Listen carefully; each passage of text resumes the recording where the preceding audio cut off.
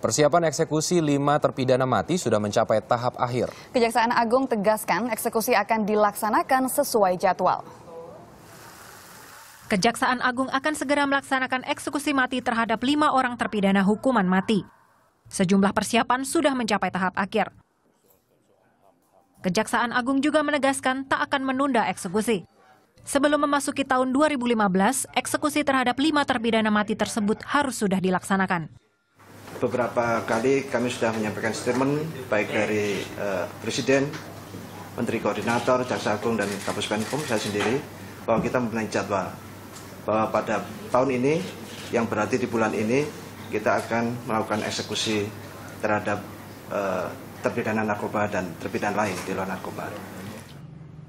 Lokasi eksekusi hingga Kamis siang masih belum diketahui. Namun salah satu lokasi yang digadang-gadang menjadi tempat eksekusi adalah Pulau Nusa Kambangan di Cilacap, Jawa Tengah. Pulau yang berada di bawah Kementerian Hukum dan HAM itu terkenal sebagai lokasi penjara dengan keamanan tingkat tinggi. Menkumham memastikan siap membantu jika Kejaksaan Agung membutuhkan lokasi tersebut.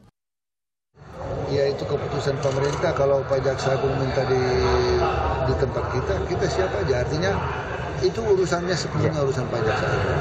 Ya, ya, ya. sepenuhnya Pak Jaksa Agung. Tapi kita membantu tugas Jaksa Agung kalau dalam soal itu.